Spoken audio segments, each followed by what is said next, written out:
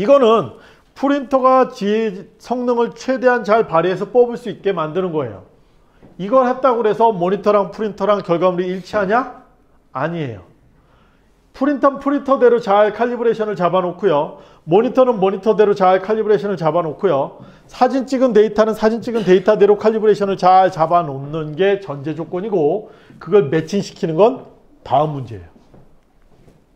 자 볼까요? EIZO에서 온 가이드라인 사진을 찍습니다. 그 다음에 정확히 칼리브레이션을 잡아요. 모니터에. 그리고 그걸 소프트웨어에서 정확히 표현할 수 있도록 세팅을 해요. 뭐 칼라, 프루프라든지 여러 가지 옵션들이 있거든요. 그런 것들을 잘 활용해서 작업을 합니다. 그리고 그렇게 작업한 결과를 테스트로 한 장을 잘 뽑아요. 그리고 나서 그 테스트 나온 것을 적절한 조명 밑에서 비교하고 확인해서 모니터랑의 차이를 확인해 보고 그 차이에 따라서 빨간색이 제대로 나왔는지 파란색이 제대로 나왔는지 똑같이 매칭시킬 수는 없어요.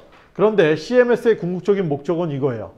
모니터에서 빨간색을 빼면 프린터에서도 빨간색이 빠지면 제대로 된 거예요.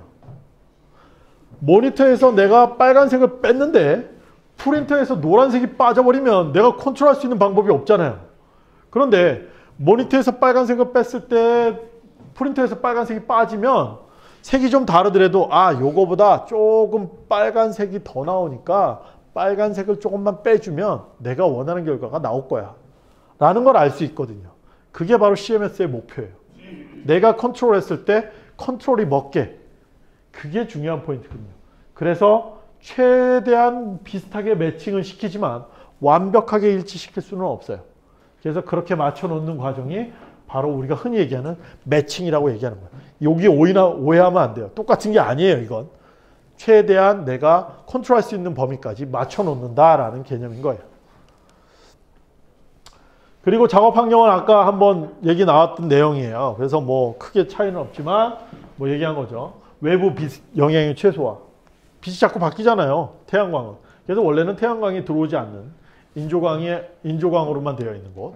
그 다음에 프린터 나오고 그 다음에 연색 지수가 높은 형광등 타입이거나 LED도 아직은 거의 없어요. 그러나 있으니까 그런 것들.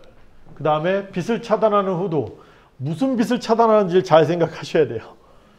이렇게 해놓고 뒤에 조명 있어봐야 아무 의미 없어요. 위나 혹은 이렇게 돼 있는 거. 그래서 어떻게 확인하냐면요.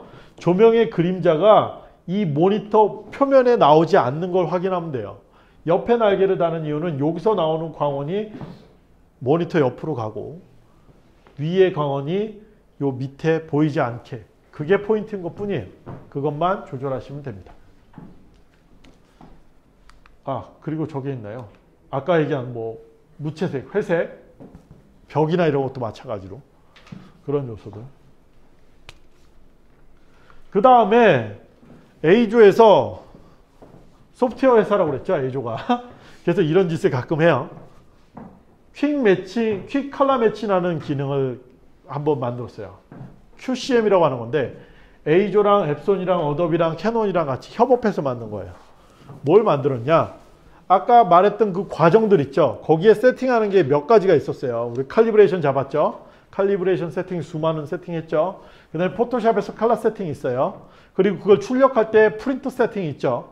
이게 정확히 이해하고 잘 활용하고 계시다 그러면 잘 운영하시면 되게 다양하게 내가 여러 가지 것들을 할 수 있어요. 그런데 초보자 입장에서는 정말로 어렵거든요. 이거. 세 개를 다 이해해야만 하니까.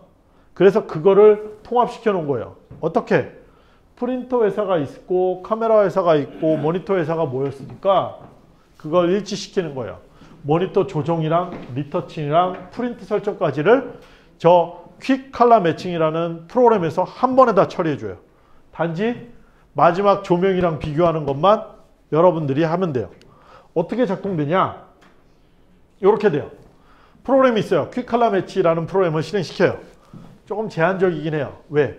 첫 번째로 모니터 calibration 기능을 갖고 있어야 돼요. 지가 스스로 잡거든요. 색깔을. 잡아야만 해. 그게 첫 번째야. 두 번째는 캐논이나 엡손 프린터가 있으셔야 돼요. 캐논이나 엡손 프린터가 지금 적용되는 거니까. 그리고 포토샵을 사용하셔야 되고요. 그리고 마지막으로 캐논이나 엡손에서 나오는 정품 잉크랑 정품 종이만 사용이 가능합니다. 지네 것만 쓰게 만들어 놓은 거예요. 어떻게? 프린터 골라요. 그 다음에 그러면 리스트가 나와요. 종이 리스트. 거기서 정품 종이를 골라요. 그 다음에 뽑고자 하는 사진 파일을 집어넣어요. 그리고 버튼 한 번 누르면 끝나요. 끝이에요. 그럼 어떻게 쓰냐 이렇게 정했죠? 종이 정했죠? 눌러줘요. 버튼! 그러면 세팅이 세팅이 진행된다. 그리고 세팅이 쫙 완료가 돼요. 세팅이 완료되면 어떻게 된 거냐? 자, 모니터는 이미 프린터에 맞게 색깔이 바뀌어 있을 거예요. 그래서 그 모니터를 보면서 포토샵에서 작업을 하면 돼요. 그리고 작업이 완료가 되죠. 그러면 캐논 같은 경우에는 캐논 프린트 스튜디오 프로라는 프로그램을 프린터 산 사람들한테 공짜로 배포하고 있어요. 그거를 install하면 포토샵에 plug-in으로 들어가 있어요. 그러면 얘를 실행시켜. 그러면 요게 그 printing하는 옵션이 있는 거거든요. 이 옵션을 지가 사르락 세팅을 다 해놓은 거예요. 아까 그 옵션에 세팅한 대로, 종이 세팅한 대로. 그래서 뽑아줘요. 끝이에요. 간단해요. 편리해요. 웬만큼 컬러가 맞아요. 그러나 컬러 컨트롤 하기에는 힘들어요. 워낙 자동화되어 있기 때문에.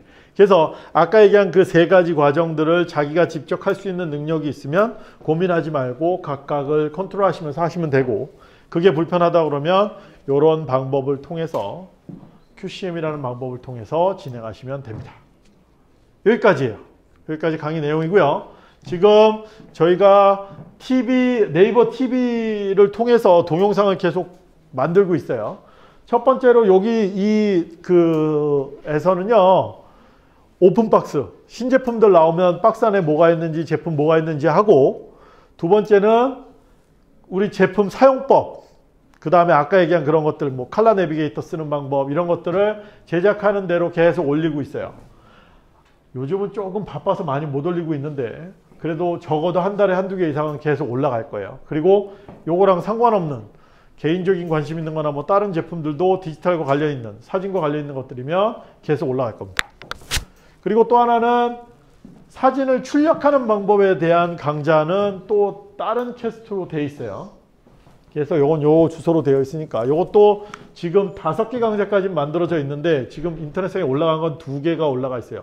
처음에 인트로하고 첫 번째 강의. 그리고 다섯 개 강의까지는 지금 제작이 완료되어 있으니까 예전에 SLR 클럽에서 했던 거 이제 약간 재편집해서 나가는 건데 그거 올라가고 중단된 거 이어가지고 나머지 강좌를 완성할 계획이에요. 그래서 그 내용까지 들어갈 겁니다. 그래서 요 내용까지가 오늘 강의 내용이고요. 그리고 저희 그 김영대 작가님께서